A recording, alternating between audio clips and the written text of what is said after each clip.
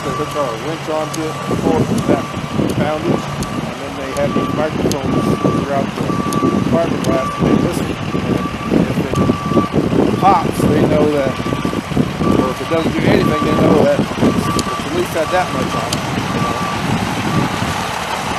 But if it starts popping way before that, then get it.